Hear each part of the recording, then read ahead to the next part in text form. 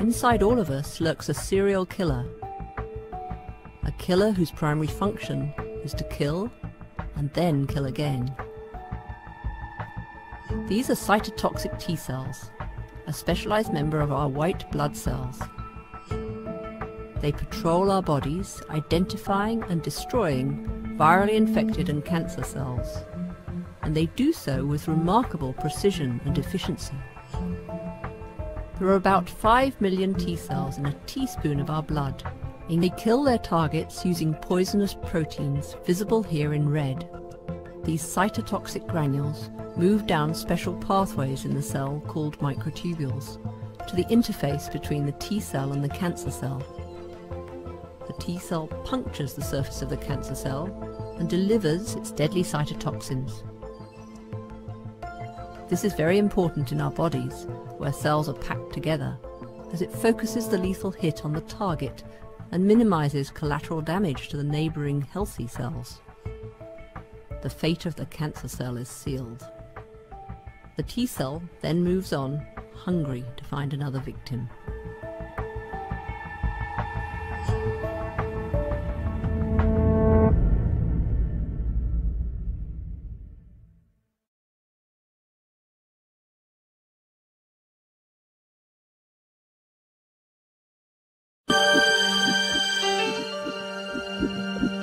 Our cells work together in extraordinary ways.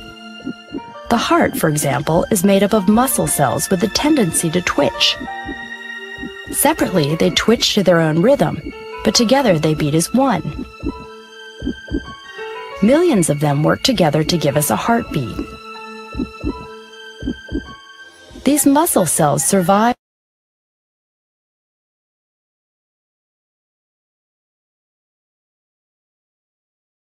This tube is called the axon of the neuron.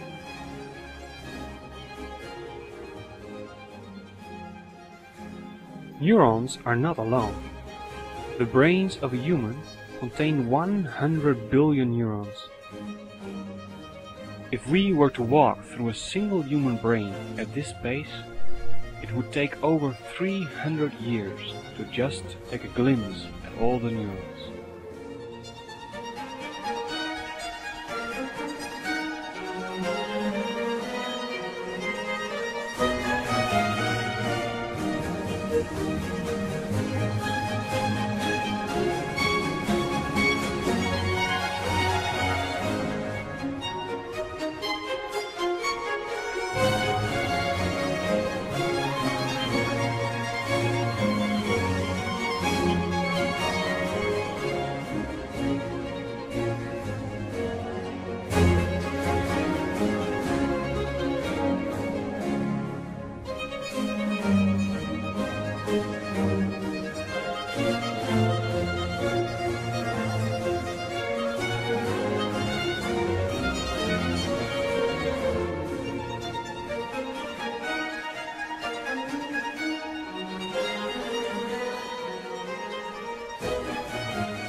Are now zooming in, up to a magnification of 20 million times. At this scale, a hair would be over a mile thick.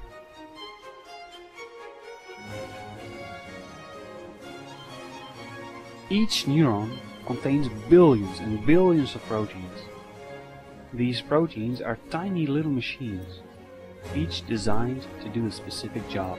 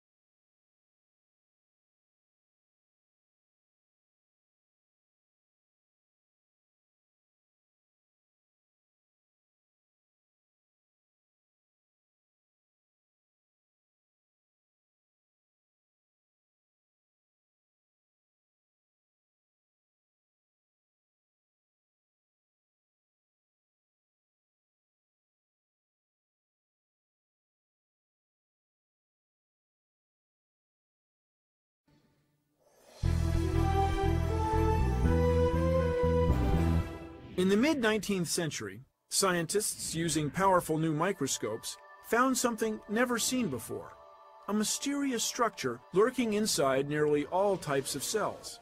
It was equipped with two membranes and had the ability to change shape. Over the next hundred years, several biologists combined to uncover the secrets of this biological wonder. Most of a eukaryotic cell's ATP synthesis occurs in mitochondria. A mitochondrion is a sac within a sac and is an energy transformer where energy in fuel molecules such as pyruvic acid is transferred to ATP. Carbon dioxide, the carbon end product of cellular respiration, diffuses out, leaving the cell through the plasma membrane.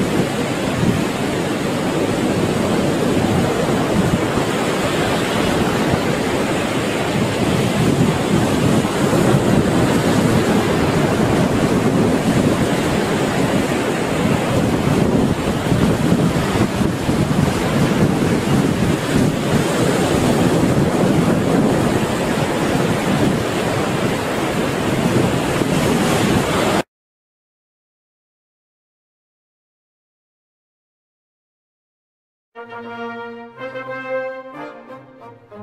you.